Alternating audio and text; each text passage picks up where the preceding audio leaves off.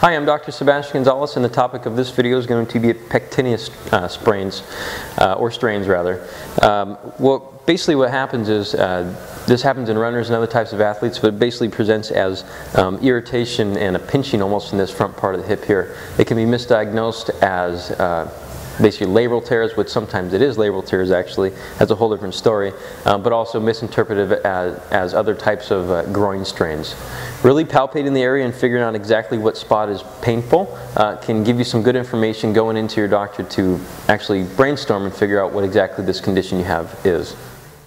Now the intent of this video is mainly to show you uh, different anatomical structures in the area figuring out what your basic anatomy is and if you have this problem at all in the first place. So palpating the area, the first thing you want to find is the bony landmarks. You're going to find the anterior superior iliac spine, which is going to be this bony prominence here.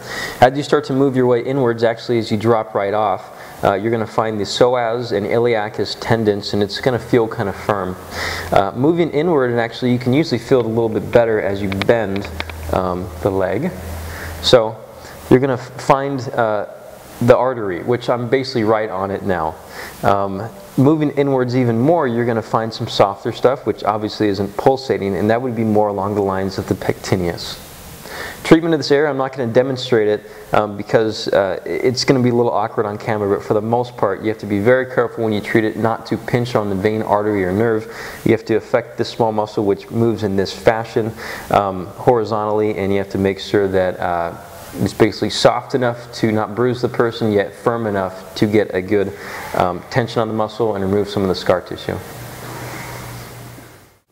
With this injury, I don't recommend you do anything on your own whatsoever other than stretching the musculature around it. Uh, there's the vein, artery, and nerve that pass through the area which can become uh, really irritated, especially if you put anything aggressive in there like a baseball, foam roll, or anything that, like that. I think the takeaway message for this type of condition is basically know what you're working on before you actually go forward and get some treatment done. Uh, be able to figure out where to palpate and, and figure out what the condition actually is. Um, I've met very few people where this condition's been a, a long lasting thing and it has kept them from running, uh, but at the same time I've met so many people that are just confused about what it is in the first place. If you're looking for a step-by-step -step approach for this on the internet, I don't think you can find that either. Uh, so go ahead and talk to your sports doctor that you trust and just see what they say. Don't forget to check out our ebook at the website below.